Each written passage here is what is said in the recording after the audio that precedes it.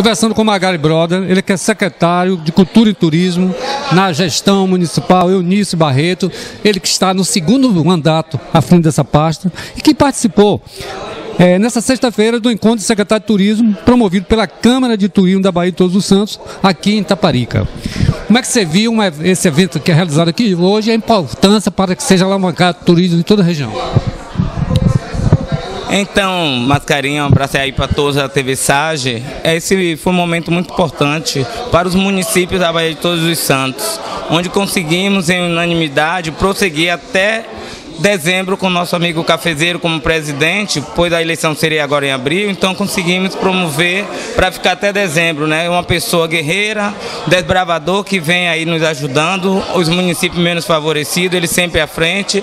Agradecer também a Carlos Silveira, pelo convite, né, e pelo carinho que vem tendo com todos os municípios e dizer que esse evento é um evento de grande importância para a Bahia de Todos os Santos. Nós estamos na fase ainda do coronavírus, infelizmente. A vacina está aparecendo agora. E que a probabilidade do Feira Caxi ser realizada esse ano? É assim como outros eventos, né? Infelizmente a Feira de Caxixi não ocorrerá esse ano. Mas vamos aí trabalhar, pedir a Deus, ter fé em Deus, que essa vacina venha logo para todos e que com certeza em 2022 teremos a Feira de Caxixi. Gary, como é que está a conservação do patrimônio histórico-cultural lá no município de Nazaré? Isso vai ser aquelas construções de estilo barroco.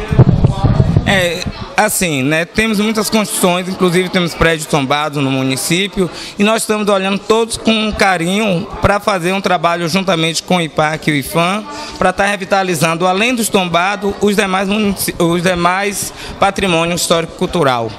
Temos também o monumento Jesus de Nazaré, que é um monumento, o qual é um dos pontos turísticos hoje mais ativos no município. Aproveitar e convidar vocês que estão aí eh, assistindo a visitar o monumento Jesus de Nazaré.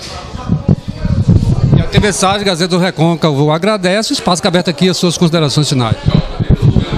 Primeiramente agradecer a Deus, né? Agradecer a prefeita Eunice por estar me dando esse privilégio continuar como secretário de Cultura e Turismo. Agradecer a vocês, a TV Gazeta, a TV Sage, que sempre presente nos representando. E agradecer a todos. E em especial mandar um beijo aqui para minha família, que sempre me abraça, sempre me apoia. E dizer, você que está aí nos assistindo, quando tudo isso passar, seu destino é Nazaré. Visite Nazaré.